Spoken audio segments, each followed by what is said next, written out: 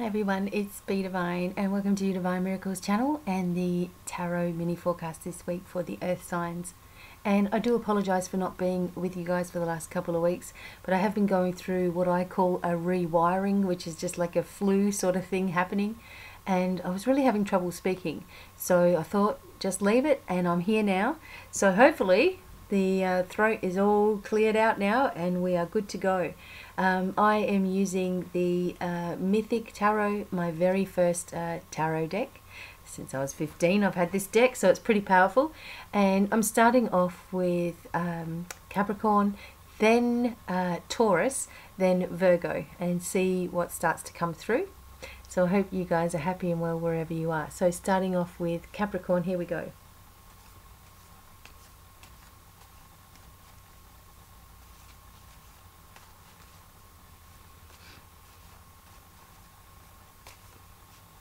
Capricorn. Oh, you guys need a shuffle.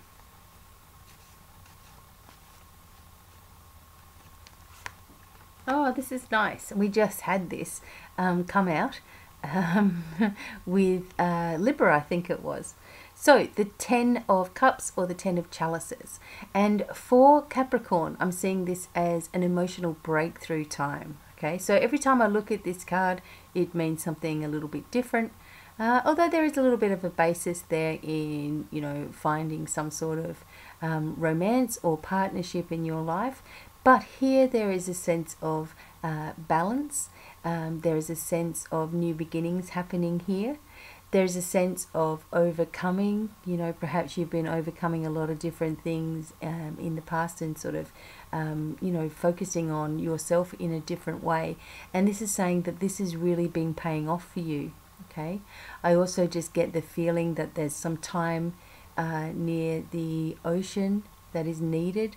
Maybe you know that's something that you've been planning on doing or you know been thinking about doing but spending time near the ocean really helps you to recharge your batteries and, and ground yourself too.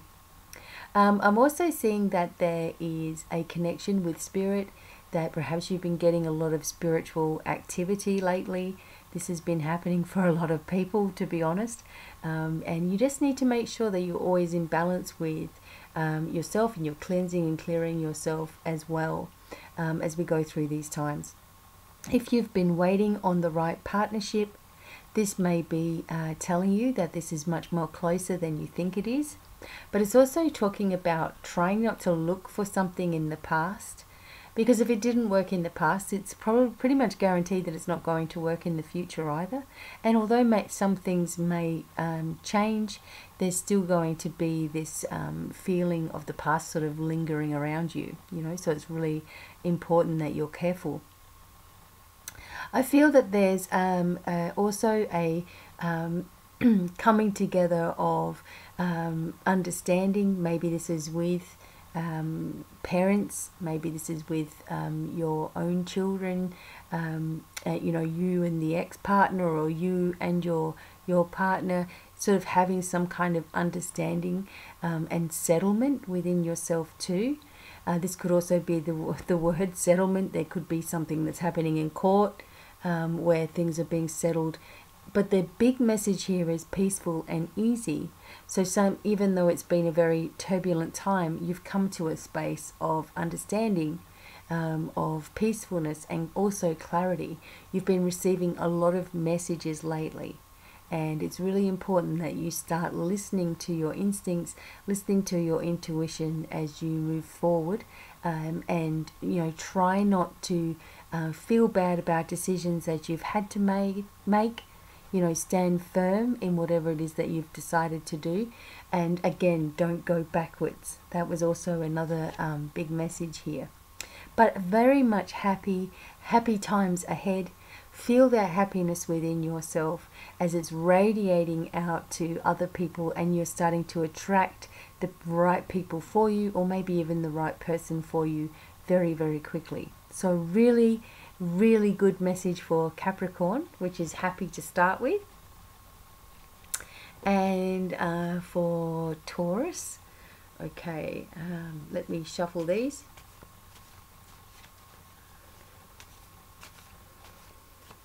Okay. And the card so we're getting the tens here for the earth sign which is pretty interesting.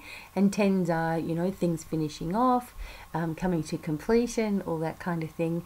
Um, and it's also the 10 being um, 10 plus 0 equaling 1 so this is important for you to start getting things within yourself for you to start establishing things in your life. And perhaps um, you know you've been relying on other people for a really long time um, or you know you've been able to rely on people for a really long time and this is about you just saying okay i really need to do these things for myself. I need to lift myself in the new vibration that i want to have in my life um, without feeling like somebody else is going to give it to me or make it happen or uh, be there with me. This is all about you um, finding this independence too.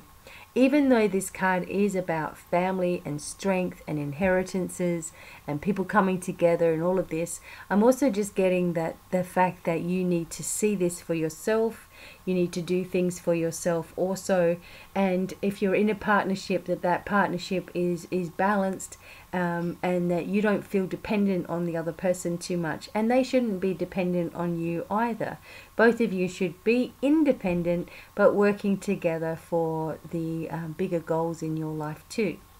This could be a message about children, families, um, maybe people that you know are having children, or you're having a child, another child, um, and but it's also a time where um, you feel very grounded in yourself or perhaps you know this is also a message to do this a little bit more.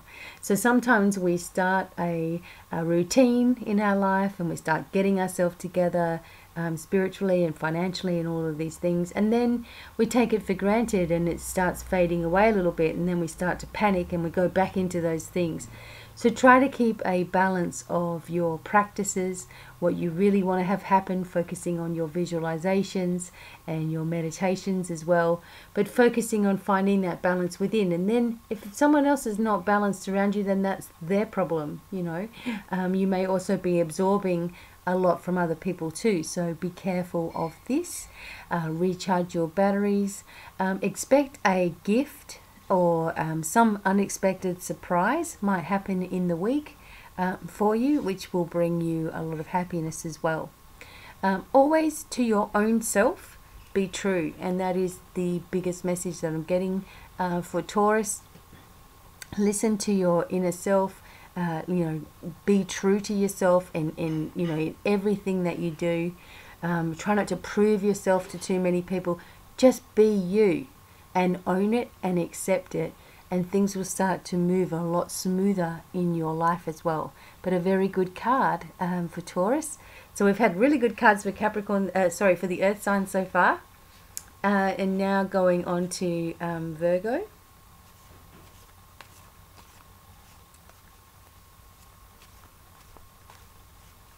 Okay, Virgo, that was quick. And the Five of Wands. Okay, so Virgo, going through a bit of a time uh, where you've been uh, releasing, uh, working things out.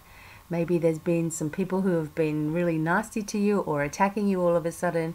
And some people are getting a lot of psychic attack lately, and it usually happens whenever we're lifting spiritually. There'll be someone there that'll try to push us back down a level or two. So, for Virgo, please don't let this happen be aware of the bigger picture around you. The things that you really want to do in your own life is really important.